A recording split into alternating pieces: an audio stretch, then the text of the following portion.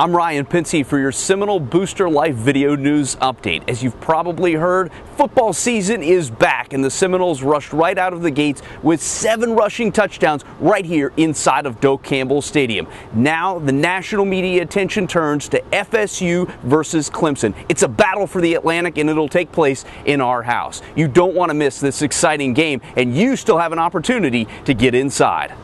You can still be part of the game, but there are just a few tickets left. Order yours by visiting Seminoles.com, and if you're a Seminole Booster member, you can still get the last few priority tickets on the sidelines. In fact, by joining the Seminole Boosters, you can purchase those sideline tickets and get your VIP invitations to all of the Booster Life events around the big Clemson game weekend and exclusive events throughout the year.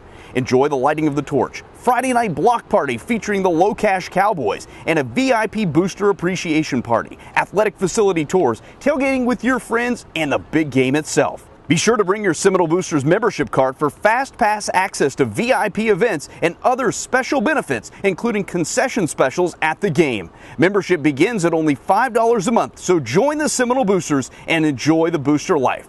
So log on to Seminoles.com to get those last few remaining tickets to Florida State and Clemson. The national attention will be on Tallahassee and inside of Doak Campbell Stadium, and you don't want to miss out on another epic game day experience when the Noles and Tigers battle for the Atlantic Division. For Booster Life video news updates, I'm Ryan Pincy. I'll see you at the game on the radio and at Seminoles.com.